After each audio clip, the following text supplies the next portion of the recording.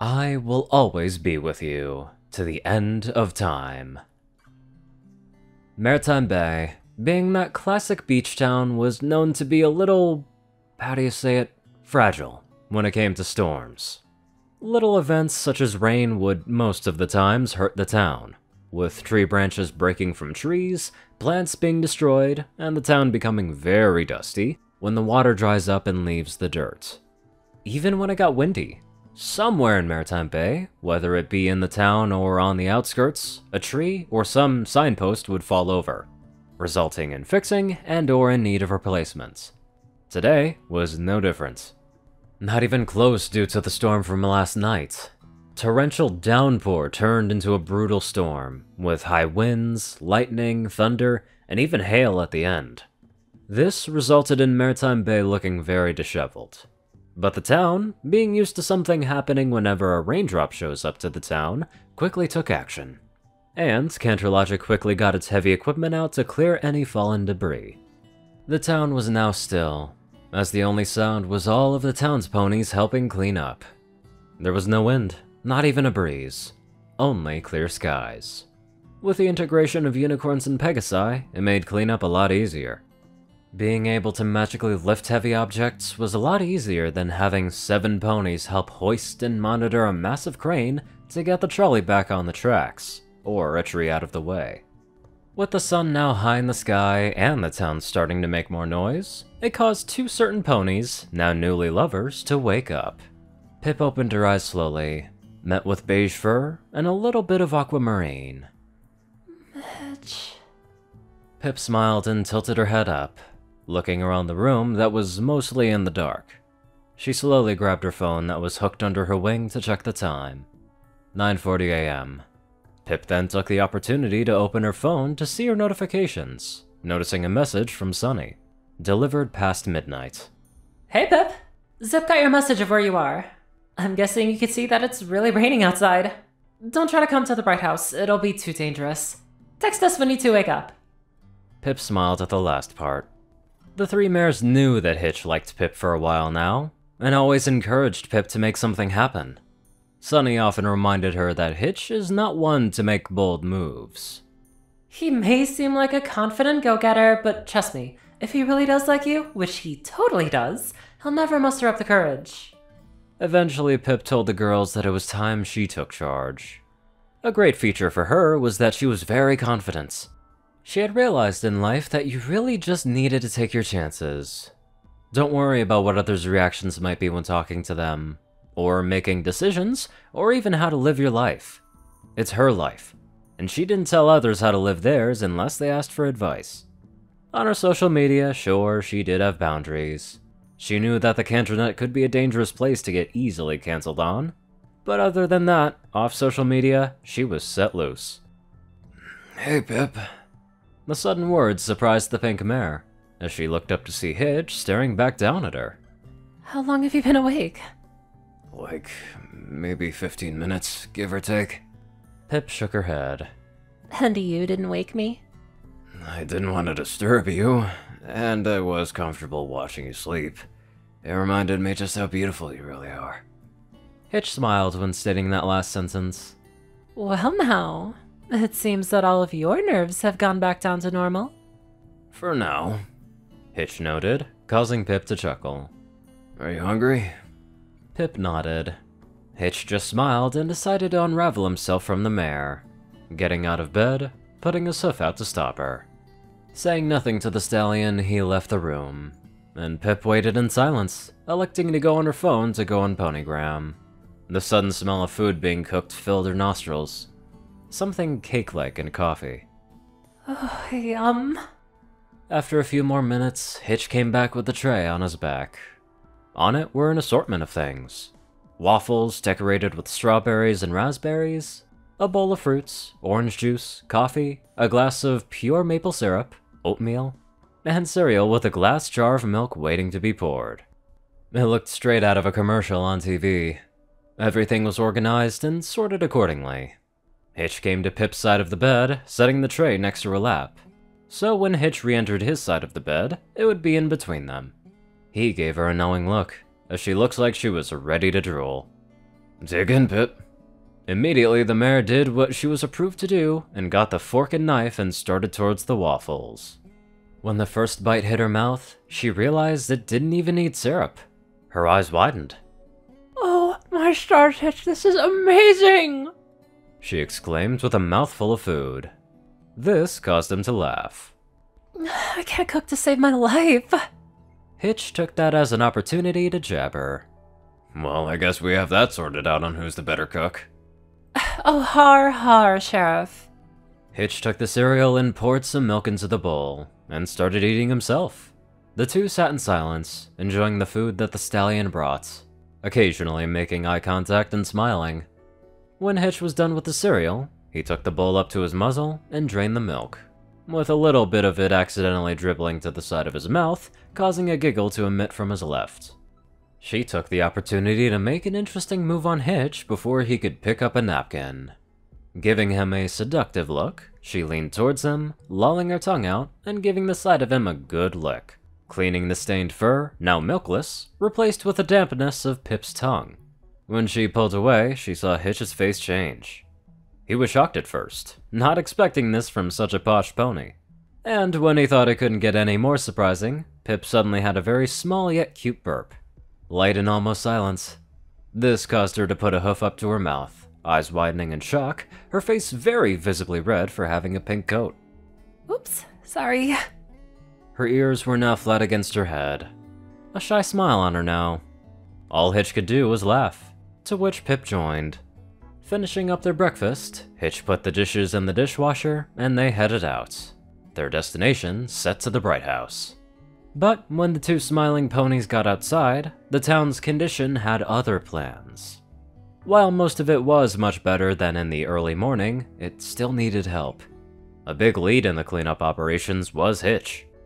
He looked over to Pipp, who was looking around at all the debris. Uh, hey, go ahead of me. I'm gonna quickly make sure that everything is being taken care of.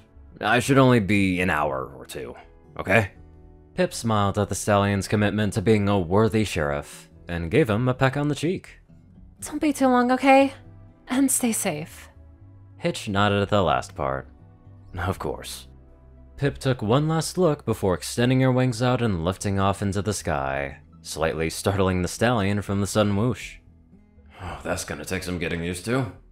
He quickly shook it off, and headed to the main point of town, set to find any ponies that may still need a helping hoof. When Pipp got to the Bright House, she saw that it was mostly cleaned up from the debris and flew to the main door. Opening it, she saw the three mares that lived with her in the house. They were congregating at the kitchen table, now directing their attention to Pipp. They all smiled. Pipp, you're back! Izzy exclaimed. How was your night with your new man, huh? Oh, nothing much is. But we did have an amazing breakfast. Oh, he can cook. The girls laughed at this. What's on your mind though, Pipp? Now that all the dust has settled, how do you feel about this? Sunny asked. Pipp knew Sunny meant nothing by it, wanting the best for both of her friends. Well, as we all expected, he was a mess in the beginning of our little hangout. I have to say, while I am sad we didn't make it here, I'm glad how it all turned out. Hitch is just what I need, now that he's comfortable with me. I feel like I have no limits when I'm with him. He makes me feel safe to do and say whatever I want. No, Pipp, I'm so happy for you! Sunny said, giving Pipp a hug. Just know this Hitch is a very nice and loyal stallion. I know him down to a T, and he'll never let you down or betray you or do anything shady on you. You just need to make sure that you do the same and be your best you for him. I'm not saying that you won't, but I'm just telling you what to expect, which is nothing but the best. I know, and thank you, Sunny, for telling me that. You're right. I know Hitch would never do anything like that, and it's nice to hear it coming from you, being his childhood friend and all. Sunny smiled. Zipp, on the other hand, had other plans. While she loved Hitch like a brother, she would defend him to the end of time and always be there for him. She knew that she needed to have a one on one conversation with him. As if on cue, Hitch briefly knocked and stepped into the Bright House, looking at the mares, smiling. Hey girls, what's good? Pipp turned, smiling. Hey there, Sheriff. she said in a soft tone, biting her lower lip for a split second, causing the stallion to become a bit embarrassed. Hitch, just the stallion I need. You think you could help me with something at the edge of the outside of the Bright House?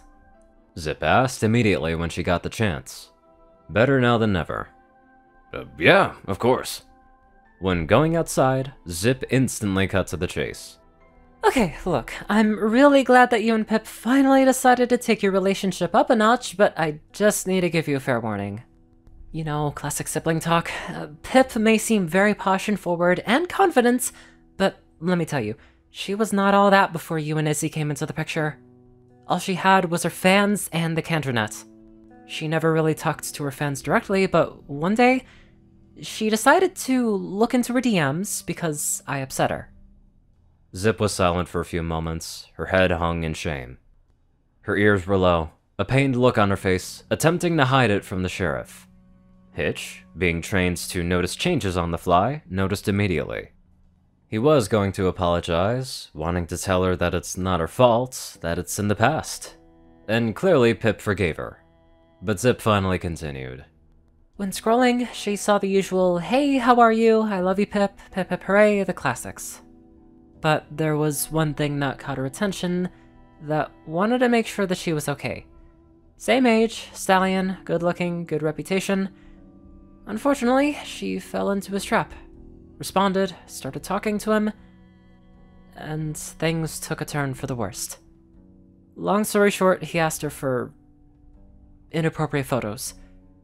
She almost did send them, but luckily she went to mom because of how mortified she was with herself, and got the situation dealt with. Hitch didn't know what to do while listening to this. First, why was Zipp telling such sensitive information? Was she trying to scare him? Also, why was she suddenly acting like he was a threat? Maybe she wants him to know that she'll always be there to protect Pipp? And lastly, who was this stallion? Hitch knew that he would gladly break the law and dishonor his badge to teach whoever this cult thought he was a serious lesson. Not just because it was Pipp, but because in a way it was sexual harassment, to which the law had zero tolerance for. As if she could read minds, Zipp continued with a look of reassurance. Don't worry, Hitch. The stallion was dealt with, fined, given a restraining order, and restricted from attending or being near any government gathering or building of Zephyr Heights unless it was the City Hall. I don't mean to upset or scare you, but let me explain.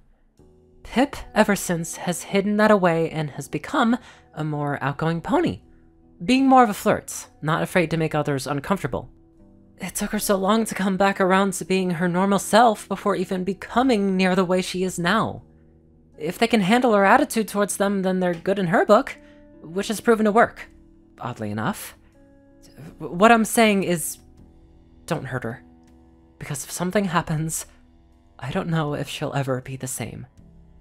I know you aren't going to, but seriously, if you don't think you can handle this, or see yourself with Pipp forever, then don't go through with it. Call it off right now. They stared at each other for seconds, feeling like minutes. Zipp then put on a very serious and intimidating angry look.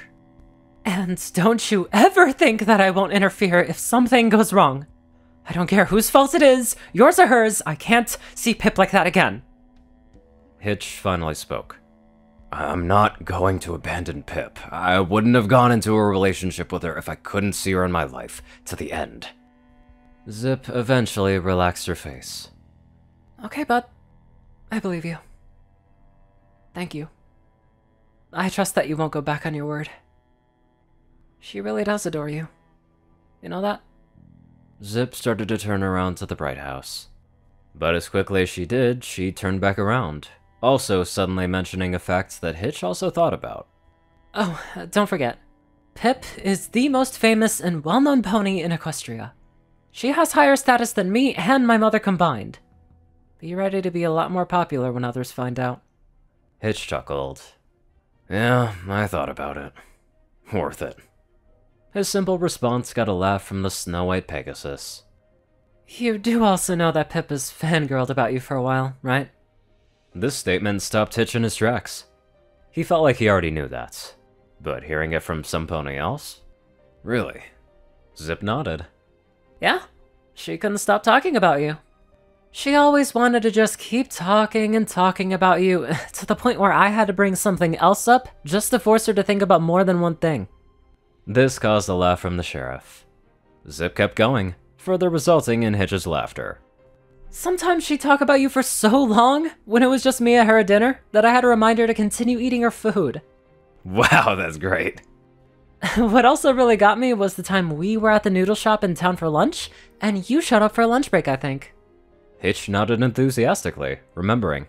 Oh yeah, I was on break, yes. It was just you and Pipp at the time, correct? Zipp nodded. Yep.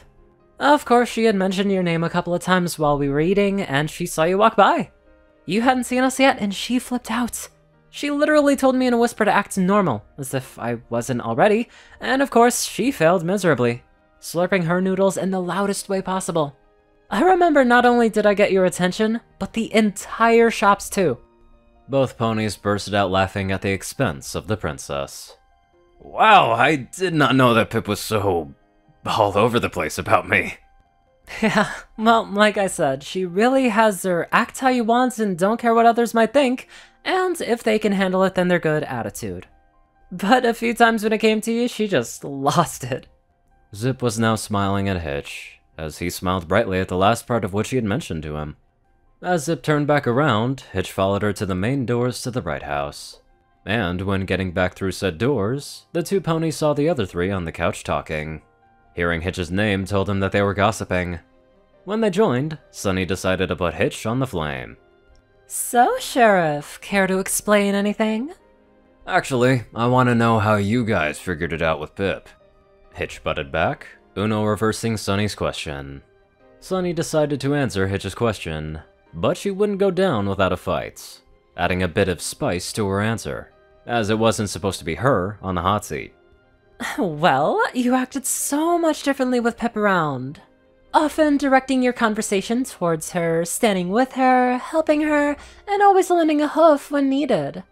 It started becoming obvious. Your mood was always a little brighter with Pipp, or whenever you were doing anything that involved her, always laughing with her, or, I don't know, being more gentle with how you acted and talked, if that makes sense. Oh, and also, I may have looked into your search history on Ponygram when you left your phone on when you went to go use the restroom one time. The last part got Hitch. I really need to remember to turn off my phone when I put it down. okay, well, since you answered my question, I'll answer yours. I. I really can't describe my attraction towards her. Sure, there's definitely a physical attraction, I've never seen a pony so beautiful in my life before you, Sunny. This caused Sunny to embarrassingly look away. I just love the fact that Pipp is so smart and loves to be playful yet serious. Fun yet organized. She's outgoing and a little bit reckless, but also self-sufficient. She has her whole life together, better than me. Even if she says otherwise and disagrees. She checks all of the boxes and more. She's truly a vision to me. The last part got every pony's attention, getting an awe from Sunny and Izzy. Hitch literally just poured his heart out on how he felt about Pipp. Maybe that storm was really a good thing after all. So, what now? Izzy asked. What do you mean? Pipp responded back, wondering what that meant. After all, with Izzy, it could mean a million things. Does that mean you'll move in with Hitch? Hitch was about to respond, but Pipp answered first. Well, eventually I would assume yes, but as Hitch mentioned, we're gonna take it slow. So no, I'm gonna stay here until Hitch feels comfortable. She concluded. Hitch couldn't have said it any better if he was being honest with himself. Yay! Pipp stays with us! Izzy shouted, causing all the other ponies to laugh. A sudden ring from Sunny's satchel went off. Her phone. She pulled it out, seeing the time. I better get going to my smoothie stand. I'll catch you guys later, okay? Every pony nodded. Yeah, I better get going too. I gotta meet my mom for some royalty training. Zipp said, slightly straining on her words. Ooh, that reminds me. I'm gonna go to the local shoemaker's to see if anyone can help construct a little kiddie pool for us. Izzy chirped, flying out of her seat before trotting to the door. All said their goodbyes, waving off. This left only the two newly Colton Philly friend couple to themselves in the Bright House. Well, Hitch, what do you want to do? Pipp asked, turning towards Hitch, walking up to stand next to him. Well, first, let me say that I'm happy that you want to take things slow. It's very mature of you. Pipp blushed, ears slightly lowering with a smile on her face. And, by the way, I know this isn't slow, but I've already made my mind up. You can stay with me whenever you want. And whenever you're ready to permanently move in with me, just let me know. They stood there, happily looking into each other's eyes. As for what we should do now, I'm not too sure. But whatever we decide, we're gonna have fun doing it together. Hitch concluded, making a move and leaning down to tenderly kiss her, who welcomed the kiss without a single notch of hesitation. That was so sweet. You just gotta love romance and its little cute sappy moments. Anyways, let's get on to our confident donators. Top donators are 630, Badass Waffle, Only One Thing, Subaru Orion, and Iron Sky. Darkside Rated Normals, Black Moon Pastel Skies, Austin Rollins, Stew Hex, Sword Brother, Margit Omicron, Lyrae, RuneScythe 9852, Will, Chris, Twinkie, Ride, Soul, Shadow Moon, Luigi 88, Chancellor Crust, Big Smoke 369, Jesse Smith, Bobcat GGF, and many more amazing people. Thank you all so much for watching this video and live life to the fullest.